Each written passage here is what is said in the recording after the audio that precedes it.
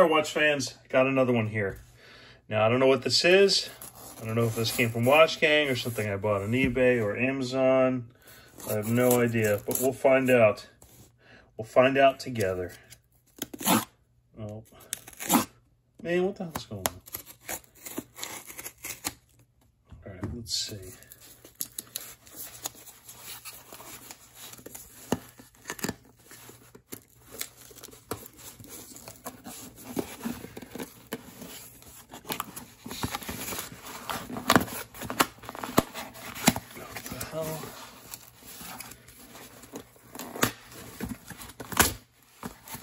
Okay, well, that didn't open well. What is it? Oh, another Invicta. God, you guys are going to hate me. I have no idea what this is, so we'll see. But looks like it could be a fancy one.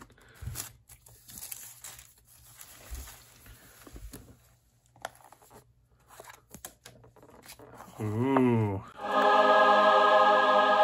Wow, an Invicta pilot watch. All right, let's watch this video.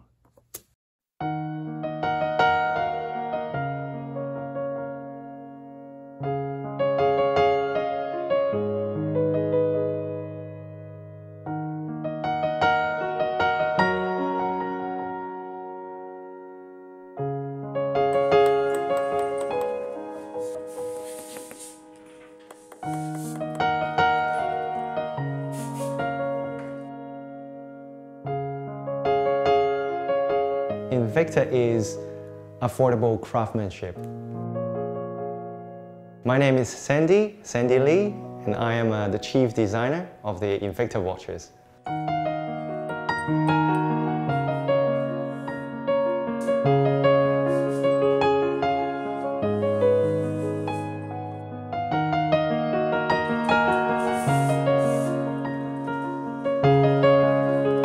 Details is one of the key points of Invicta watches.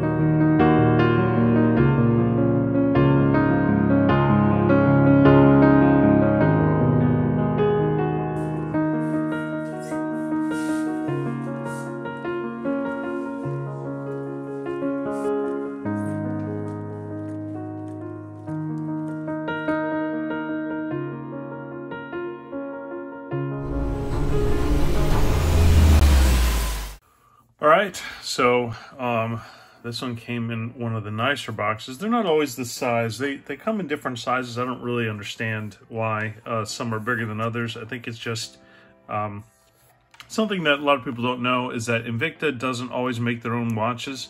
Some of them they do, the nicer ones they do, and I think these that come in these big boxes and the nicer ones. Sometimes they have like much smaller watches, like the original, what is it, 38 millimeter uh, Pro Diver, they don't actually make that one. Someone else makes that for them and puts their name on it. And it's a good watch, right? 38 millimeters starting to get a little small for uh, today's standards, but yeah, so this is a big one. Box is actually made in Cambodia. Uh, saw that right here. Uh, so what it is, different places. Um, you know, comes with the manual and the little thing. So fascinating. let's get down to this. So I'm going to tell you right now, I actually really like this watch. That's one of the reasons why I bought it. So I got this one on eBay. Don't remember what I paid. Um, it says the MSRP is $495. You and I both know that that's uh, a little aggressive. Um, although the watch is nice, right? I think I think it's a nice price. That's a little bit expensive.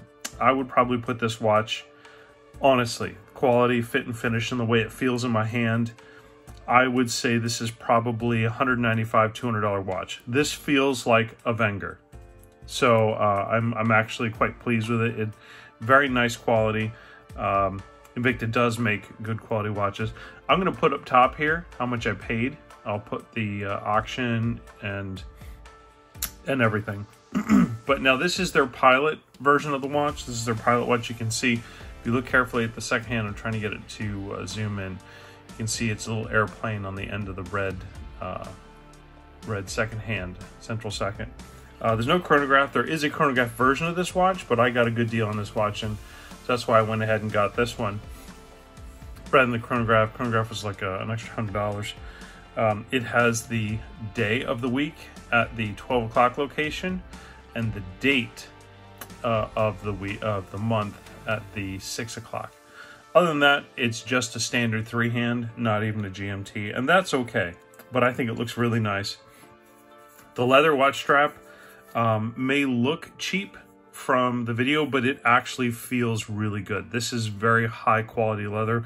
I'm very pleased with it. Um, I'm very impressed. Um, I think this is one that I'm going going to keep.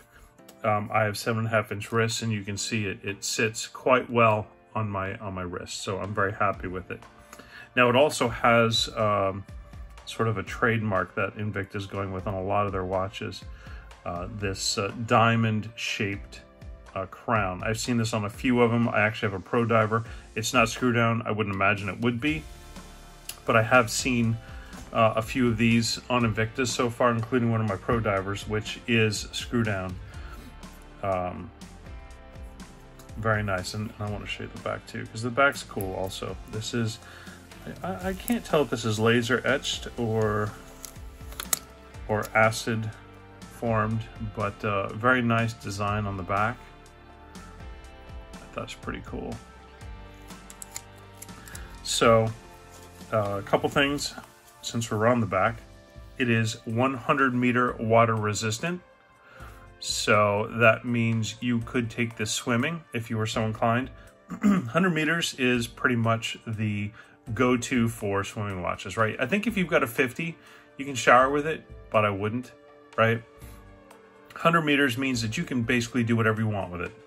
Uh, you're not going to go deep sea diving. I don't know that I'd even really go snorkeling with it, but at 100 meters, uh, you pretty much can't go wrong. Um, anything that you're going to do with uh, a watch in water, you can do it with a 100 meter watch. Now, that said, this is a leather strap, so I don't know why you would do that. Um, but it's nice to know in case, uh, you know, I don't know, you have a seaplane, you got to jump in the water or something. I don't know, but very nice. I, I, have to comment on this. This leather strap feels really good. Uh, I'm very impressed.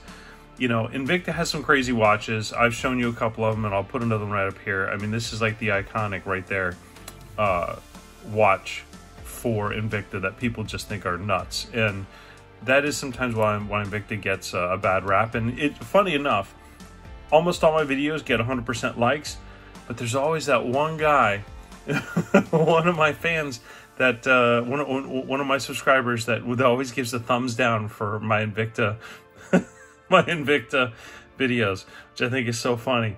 Um, and I understand, right? Not everyone's a fan. Um, I am really starting to uh, like the brand, but but don't worry, I'm not going to go off the deep end. Uh, I'm very specific about the watches that I like. Uh, 316 stainless steel, uh, the buckle and the case. Um, monogram there. You can see Invicta, and also on the crown has the Invicta logo. of course, it says it on the front. Um, but uh, yeah, and, and also the crystal, we had talked about this before. Um, it is supposedly stronger than uh, sapphire. Now, though it's called Flame Fusion. You can see it says down there at the bottom, Flame, Flame Fusion Crystal. What that means is it's a hardened mineral crystal, but they use a special process of adhering uh, some type of uh, mineral to the face. And that, uh, so, so, like Invicta does what's called the three layer sapphire. They don't actually usually replace the entire crystal with sapphire. They uh, heat treat a mineral crystal and apply three layers of sapphire coating. which makes it completely scratch resistant uh, as much as Sapphire would be, but not impact resistant. This uh, does something similar. I don't know what they use. I wasn't able to find it, but it's some other form of uh, hard mineral uh, and gem, and it, it makes it basically impermeable. Uh, and it's supposed to be uh, significantly stronger than sapphire, which is kind of cool. so it's what it is. Uh, all right, let's get right into some of these things. I'm going to do the weight. It's not heavy. I'm going to go on a limb and maybe say 110. I'm always wrong with these things. Yeah, 83. Okay, so whatever, 83. Happy with it. All right. Um, we'll do the, the measurements. Well, I've already got it here. Case size, I'm to say about 43.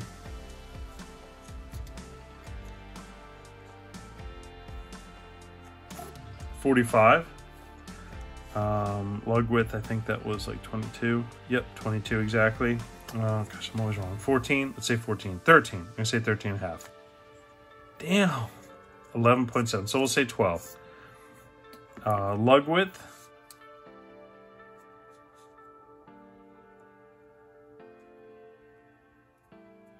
About 50. So not bad at all. Um, yeah, I mean, I, I'm, I'm really pleased with it. Uh, actually? I'm to put it on right now. Give me a second.